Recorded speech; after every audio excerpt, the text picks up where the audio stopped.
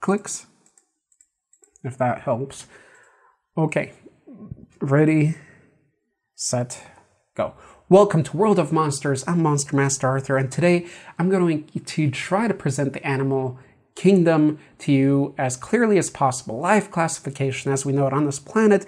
Why? Because lately, when I was researching the next monster that I'm going to be discussing, I often look for diagrams and things re, uh, referring to the animal kingdom and classification system, and there's simply not good uh, visual uh, presentations of this out there. There's no good images, really not great, and there's definitely not no good videos that I uh, stumbled upon. So I wanted to make this video. And if you are here for the first time and you're watching this and you were wondering why you just heard the word monster twice, well, this is Monster Channel. Um, so I talk about monsters, analyze them, see how they could be scientifically classified. And so in doing that research, that's why I come down to here. So this should be interesting for anybody studying biology or interested in animal or life on this planet. And I will only be talking about uh, animals in this video.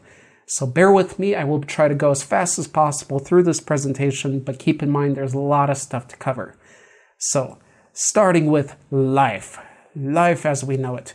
And life, well, in the 1970s, somebody um, started it by dividing it into, three categories. And it were these three, and the most uh, kind of, kind of commonly known to us will be this one because it includes animals, funguses, plants, and such. But this was later changed. So now we divide life uh, as our teachings go as uh, the latest scientific ways, and these things change uh, into two categories. Uh, I mean, into two sections of the empire category. So that is the first category under life. And that is also known as domains. So don't be confused if you see this category for referred to as domains.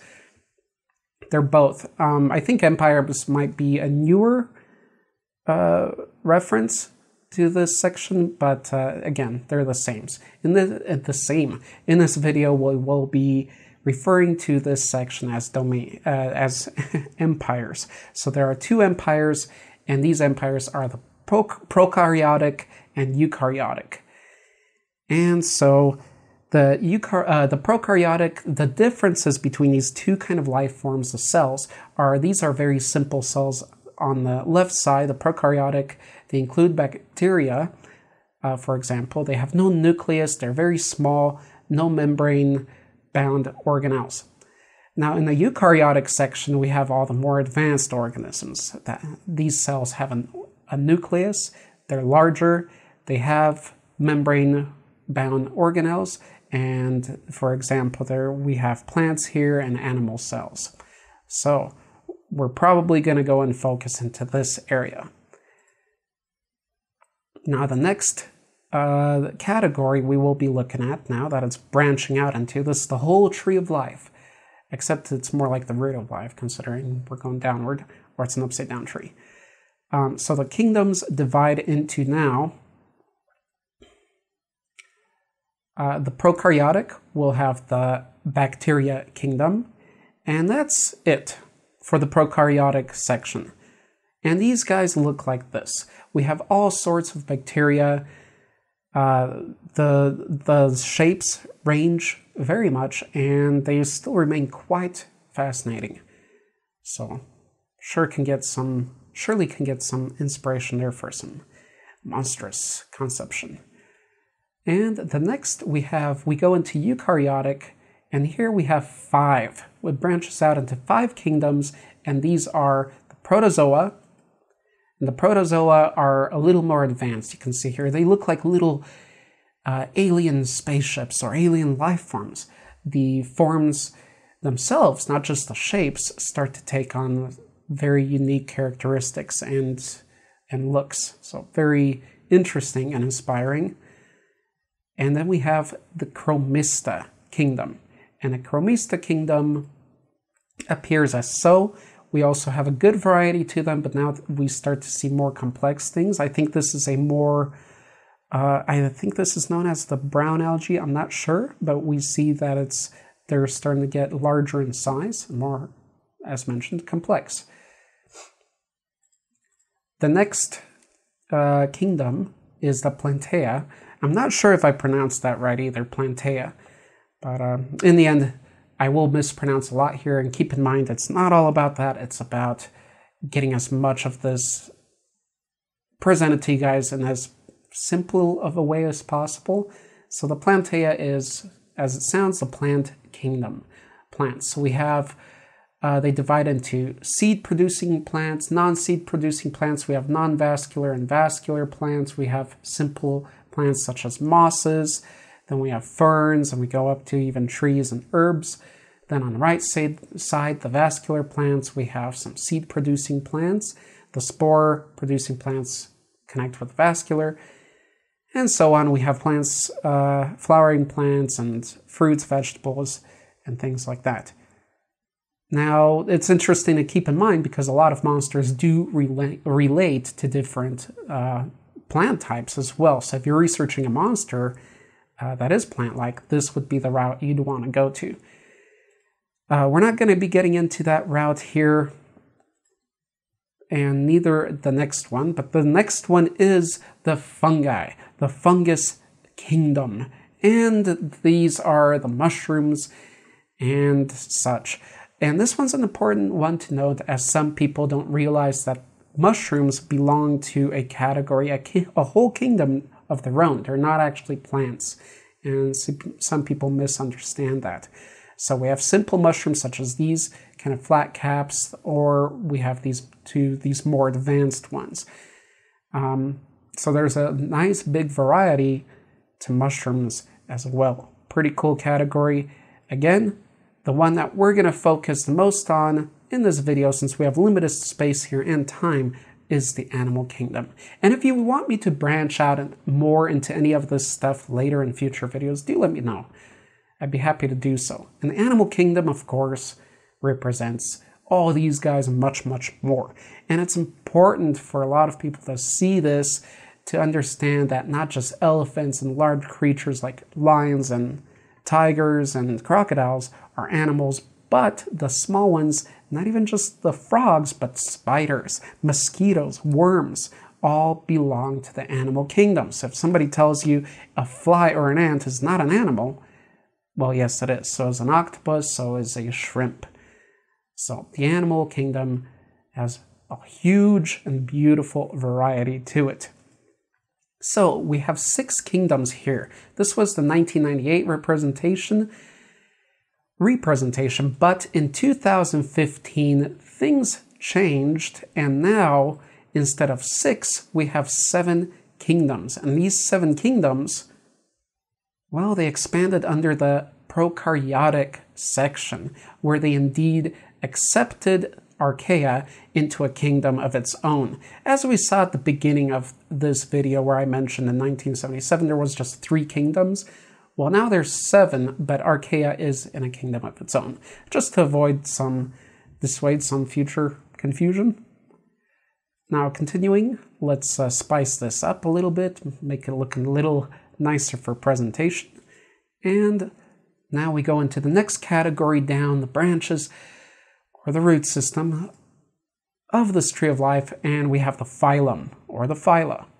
And the phylum, phylum is basically the same as division. So you're going to see some things referring to divisions, some areas to phylum. Divisions are more used, the word division is more used when classifying plants, and phyla and phylum is more used in classifying creatures and animals. So here we're going to stick with phylum. And bacteria has 29 of them. Archaea has 5 phyla. Protozoa has 11 phyla. Now keep in mind, these aren't species, because species are a lot more, right? There's thousands of species. This is just group. There's groups of 11, and these groups break down to other groups, and those to more. So let's continue. Chromista has 9 phyla, Plantaea has 12 phyla, fungi has 7, and animals have 35 phylum, the most of all the, uh, of these categories. Uh, so now we're going to branch off into animal, the animal kingdom. Uh, and we're going to do so. We're going to focus now on animals, so we're not going to be focusing on plants, fungi, and all that other stuff. That all can be branched out similarly as we're going to branch out this animal kingdom. So, for presentation and understanding purposes, we're going to focus on animals, and we're starting with the phyla, phylum of Anthropoda, arthropods, or arthropods, sorry, not arthropods, arthropods. And arthropods are basically these creatures. They have an exoskeleton. Uh, they're invertebrates. Uh, you have examples of crab, some extinct species here as well, centipede, butterfly, creatures like that. Uh, so the creepy crawlies, as people like to call them, a lot of them. Uh, then we have chordata. And chordata, you will realize a lot more is uh, uh, recognizable if you're not familiar with uh, animals too much. So you start to see this huge variety here from these kind of creatures here, more simplified uh, forms of life, to these more advanced ones, such as mammals and reptiles and birds. So we got a, quite a nice variety in this section. Continuing, we have the third one that we're going to be talking about, and that's mollusca. That's mollusks. The mollusk phylum, not the mollusk kingdom, the mollusk phylum, right? And so here I'm just going to present three out of the 35 as I can't fit them in, and it's just to avoid confu- confusion, right? So let's look at mollusks. What the mollusks mollusks look like? Well, we have octopi there, we have uh, snails, we have squids, all these kind of uh, life forms. So that's in the mollusk section here. All right, not continuing. We are now making our way to the next category type, and that's subphyla. So now the phyla that we know can get split up into subphyla too, like a secondary branch even, because not all next species have to go under it. I hope how this will get more explain, uh, better explained as I keep going. And to avoid confusion, there's so many types of subgroups that we're not going to mention too many of them. I'm just going to mention some of the sub subgroups, subform of the original subgroups. There's also sub superphyla, there's subkingdoms, and there's clades. So I'm going to try to stick with the uh, most uh, clear ones as possible, although they're all relevant. Um, so, yeah, just to avoid confusion. So, just anytime that's a sub or something like this, just consider it as another group that breaks it down. It's not as big a group as we list on the left hand corner here, but they're just subgroups, smaller and smaller groupings. So, let's forget about these three terms for now and keep going. All right, so we're going to explore the arthropods first, real quick, and they branch out into one, two, three, four, five. Five subphyla, and the first of which is the trilobites. And trilobites, as you can see here, are all extinct. It's an extinct branch of arthropods that look as such, these sort of uh, sea creatures and, and uh, mostly kind of water creatures.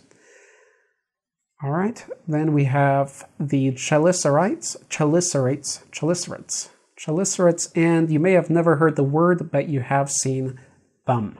And these contain arachnids and, well, creatures like so, as well as horseshoe crabs. So, uh, spiders, scorpions. Okay, let's close that up. Let's look at the next subphyla, which is myriapods.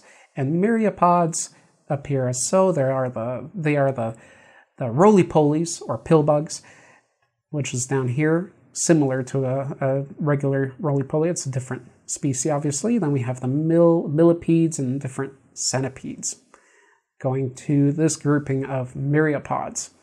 Then we have crustaceans. And crustaceans, well, you've probably eaten a crustacean before, and this probably sounds familiar to you because crustaceans represent the various crabs, lobsters, and shrimp out there. So here are some examples on that. Continuing, the final one, subphyla for arthropods is hexapods. And hexapods are very familiar to you, I'm sure, because they represent a lot of the insects out there. Well, all the insects out there and more. So let's explore further. That's going to be our little subphyla section for arthropods. Now, the next category, major category of grouping, will be the class system, the classes. And there are three classes in chelicerates, chelicerates. And why did I not list any under trilobites? Because some types of creatures are not classified always in an order. Sometimes they skip into a grouping of uh, order or sometimes straight to a grouping of species, so they skip that step. And in this case, uh, trilobites are not categorized into classes next, I believe. So, we're going to be looking at the and the various other ones as well, such as the crustaceans have, uh, I believe, orders under them, and the trilobites have, uh, I forgot what subclass under it, but they're all subgroups with a different title than class. Some of them are pretty much very similar, so don't get too confused and caught up with this. Let's talk about the three classes of chelicerates. Chelicerates. One of them, one of the three, the most commonly known one, is going to be Arachnida. And you might already understand which that one is, as it sounds very similar to arachnids, as these are arachnids. And arachnids, as you know, are spiders. But they're not just spiders, they're also scorpions, they're wind scorpions, uh, such as the, the vinegaroon, um, whip scorpions, the sun spider, or uh, desert camel, uh, what is called? The camel spider, something like that. They get really large. We have regular spiders and we have ticks even in this category. And these really tiny false scorpions, which I've actually found one before, and you guys would never know if it's around because they're so incredibly tiny. Yet they hold that intelligence of a scorpion. It's a fascinating creature. Continuing, we have the myriapods, which have uh, four classes under them, crustaceans, which have seven. So I take back what I said earlier. Uh, they do, in fact, have classes under them, and so do hexapods. So I believe that's the trilobites. I think that uh, break down to order next, or something like that, which is the next uh, level of classification. So they skip the class uh, system. Okay, let's take a look at the hexapods now.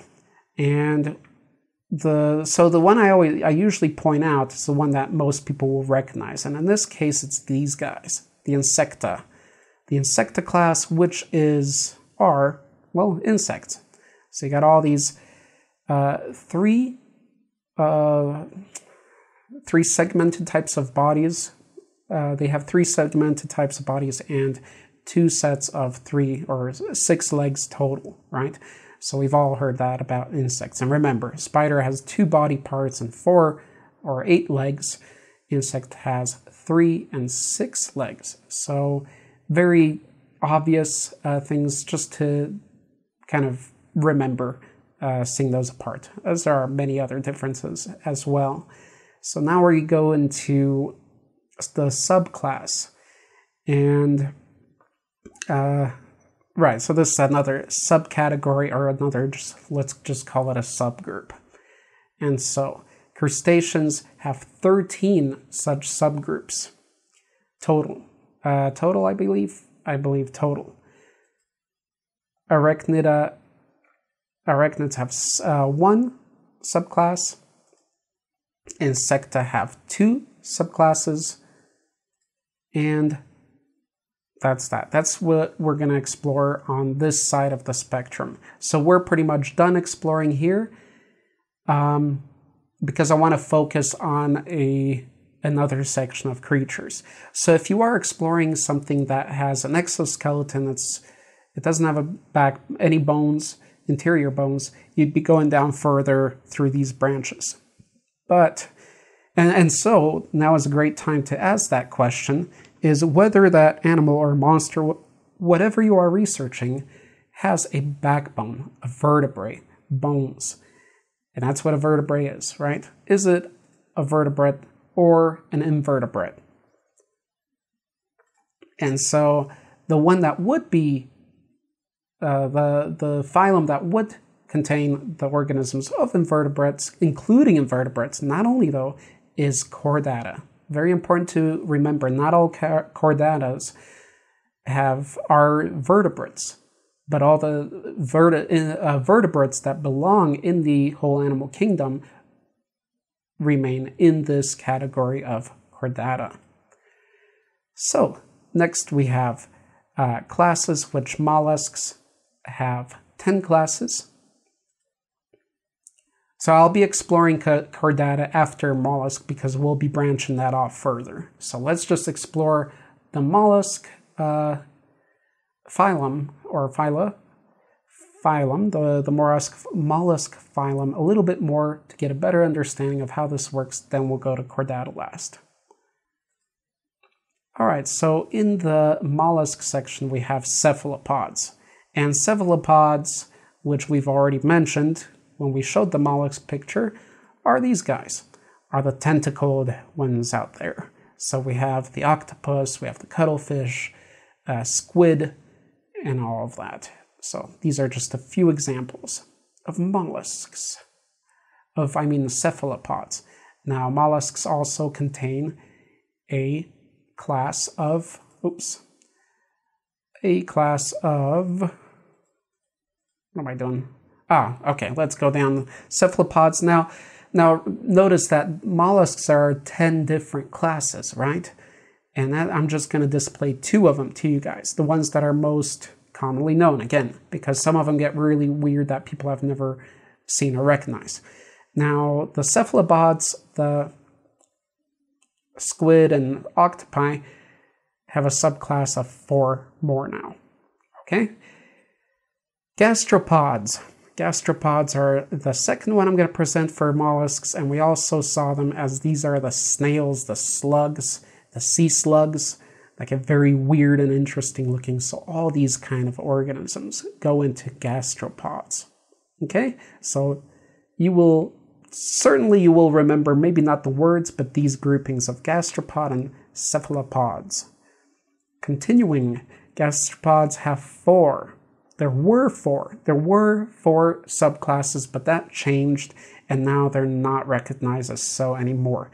And that's an important thing to state is that these things change, guys every few years the scientific community updates these things things gets changed and so classification changes slightly but not too drastically not anymore so gastropods I, I don't even know if they have subclasses anymore they might not even all right now let's go to chordata chordata and chordata has at least three Again, it's it's hard to determine exactly, but that's not the point here anyway. The point is just to go down these branches and see how they actually wind out. Or this would take even longer, and I'm sure this is already taking enough of your time. So, we're going to talk about one of those three in the chordata section. The most recognizable, maybe not the most, well, I think in the chordata section, definitely the most, and that's the vertebrata creatures with bones, with vertebrae. Ah, so that's where they come in. So there's two other categories that actually aren't vertebrates in chordata and one that does. So when somebody says vertebrates come in, chordata means they have a vertebrate. Well, not necessarily. Okay, there's two more categories in there that don't. The vertebrata do, and there are nine classes of these creatures that have bones, that have a vertebrae. All right, let's explore. So we're going to talk about one of those uh, classes.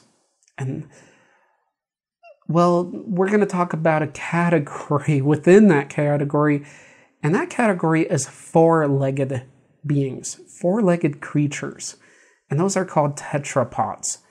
Tetrapods. So that's just kind of a, an, uh, um, like an overall term that foreshadows a lot of these uh, subgroupings. And tetrapod itself spreads out into four different categories. All right, first the amphibia. Oh, now things might be getting familiar, right? Amphibia, amphibian, which has two subclasses. And these are an example of amphibians. We got frogs, toads, newts, uh, salamanders, and these little guys called Caecilians, which may be your first time seeing them. There's mud puppy.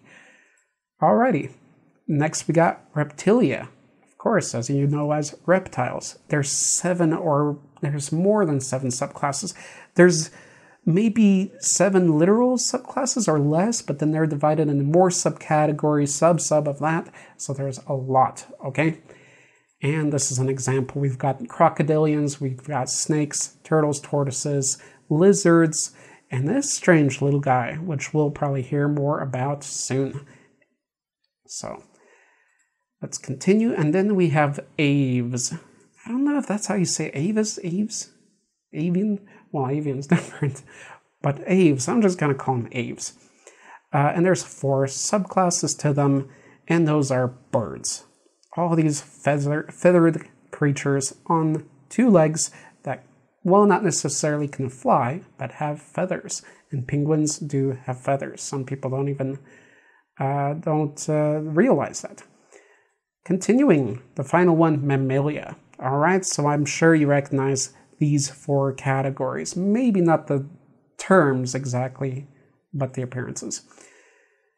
All right, and mammalia have four or more subclasses. Again, there's so many subcategories, so we'll just keep it simple and say four. And then mammals, we have all these creatures, creatures that relate to us, that are warm blooded, drink milk, uh, where the, the young, the offspring drink milk. And yes, whales are mammals. I hope whoever is watching this already knows that, as they do breathe air through a nostril, type of nostril, rather than uh, gills like a fish. And it's warm blooded, and the young feed on milk and some can fly like bats. All right, continuing. So let's look at amphibia first. Amphibia divides into two next section, uh, two next, well, a category of two next. And these are these two subclasses. And the first subclass that I showed, this one, no, not this one, this one, and that's why I'm going to choose also amphibia to explore further. I decided I was I wanted to explore reptile, reptiles more and to get down to one example because I think more people are aware of them. But we're going to go down the amphibian route because it's just more simple the way it's organized. It only has two subclasses, one of which this one, this light gray, are all extinct, and one of which are more modern, uh, called amphibians, and there might be, yes, there's some uh, extinct ancestors as well. So we'll be getting deeper into that subclass. And of Lissamphibia. And Lissamphibia cover frogs, toads, newts, all that stuff. Sicilians, Sicilian, I'll just call them Caecilians. As we mentioned previously, just not including those prehistoric amphibians. Okay, and the next category we're going, we're branching down to is order. Okay, so under class we have order, and lists amphibians. Amphibians have break down to two orders, actually three orders, because the first two kind of uh, re, uh, belong to a, a, a category of its own, and the third one is very different from those two. So let's take a look at them. The first one on this end is, are the frogs and toads. All right.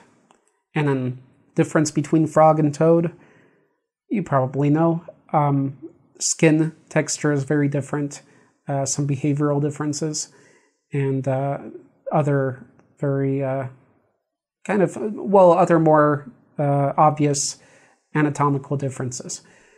So we've got frogs and toads here. Then we have the cow, I'll just call it Caudata. And the Caudata are these other guys that you know. The newts and the salamanders, mud puppies, things like that belong here. So these are very, they're more related. Then this third one here is sort of less related, and they're the Caecilians that I keep mentioning, well, a little bit. So it's these guys, and they're kind of wormy looking, still not worms, they're vertebrates, uh, very simple kind of creatures. They require moisture just like most all amphibians do um, to survive. And they come in many different colors. They're very cool looking. Let's continue. Let's go into the suborders now. The suborders of Anura are three. Anura has three suborders. Caudata has three. And Caecilians, I don't think any suborders. So that's another subgrouping of the main one. All right, so the Anura I'm going to be talking about one suborder there instead of three. I'm just going to start breaking down to covering a single specific animal, and that's the key here. So I'm dropping off these guys. I don't want to keep branching out there. We're going to keep branching out from this one suborder now. And these are ne- uh, Neobatrachias, Neobatrachia suborder of frogs. These are basically considered new frogs, and they are the largest of the suborders. The largest. They have the most within them. I believe, let's see, the next grouping, which is family, they have 31. So they have 31 different families of frogs within the Neobactria. All right, so it's the biggest suborder of frogs and toads, Neobactria. All right, so now we're on the family level of branching classification. And out of the 31, we're going to branch out into one of those, and that's called Hylidia or Hylidia.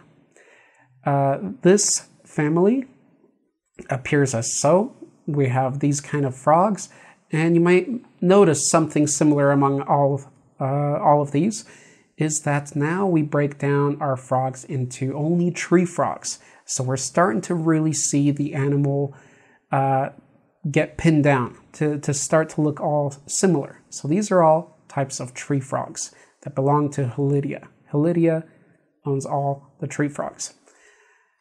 All right, now there's subfamilies here too. And in this section, there's three subfamilies only. Cool, keeping it easy and simple. Let's branch out one of those.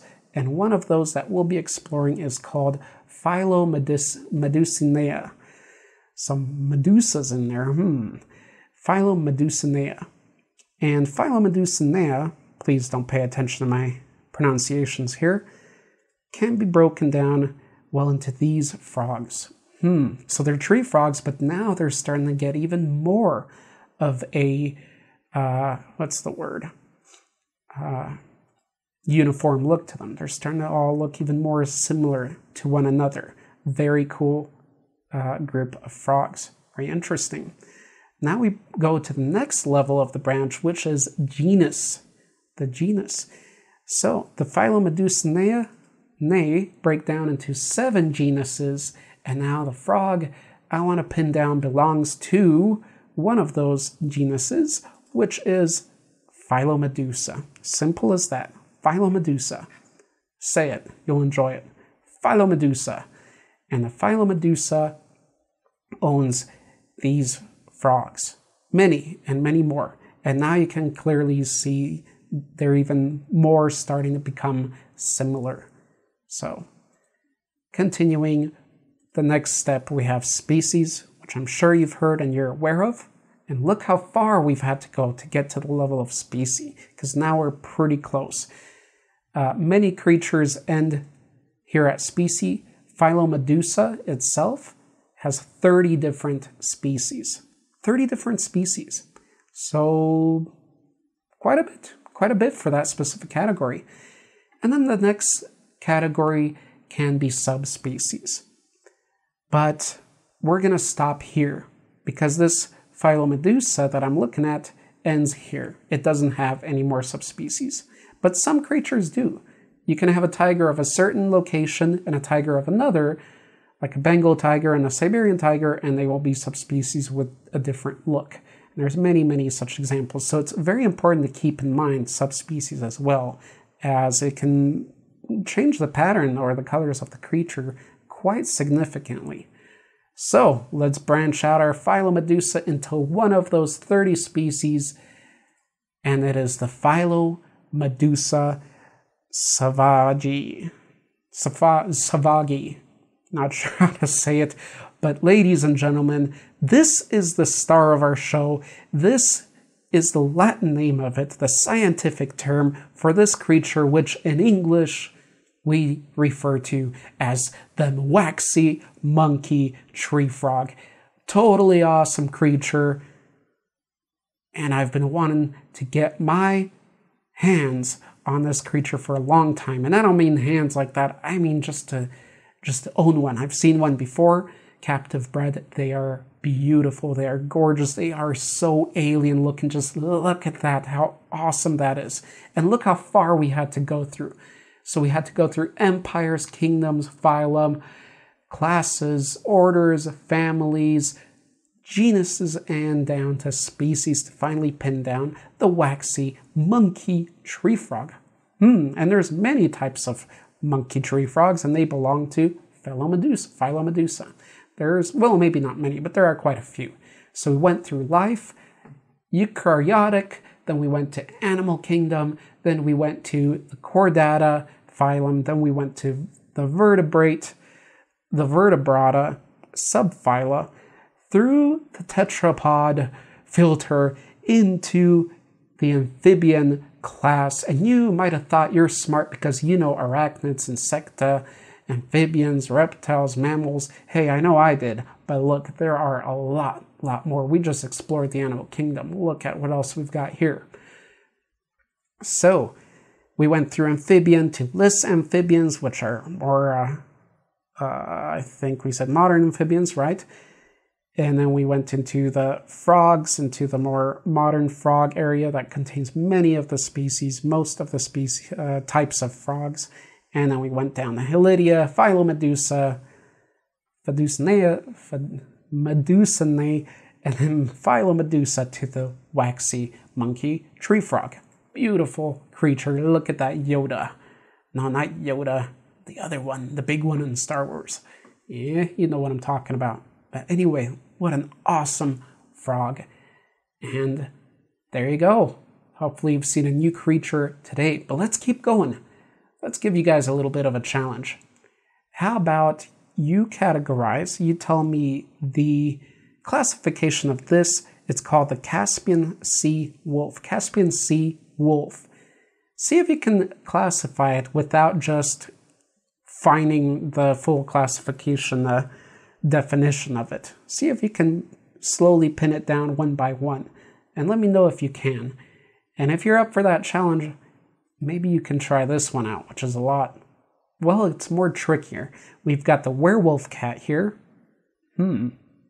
Very cool animal. Something I want to get.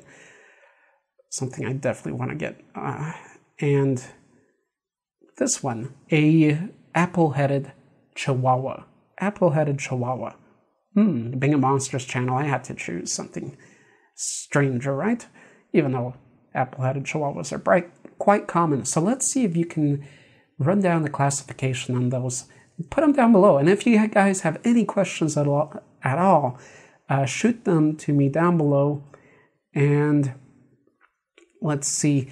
I guess if you have any questions, let me know. But also, if you want me to make another chart exploring another section of the kingdom, of another one of the kingdoms, or if you would like me to explore the entire chart and break it down. I could do that. It will take a while and it will be on a much bigger sheet than this one, but I can do that. But also, what I'm offering is I can run a live stream uh, answering questions and covering just covering this topic, the classification of life on Earth as we know it. Uh, answering any questions there it would be a live stream solely focused to this. So, I leave you guys with the conclusion of this fact 45 species of fauna and flora are discovered a day. Okay? 45 species. That's cool. So we're still finding a lot of species of plants and animals every day. That's awesome. But on another note, that's not that impressive. That's not that great because 180 go extinct every day. That's more than double of what we're discovering. 180 go extinct every day.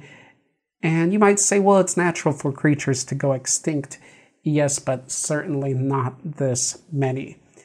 Uh, this amount is a thousand times the natural rate of creature extinction.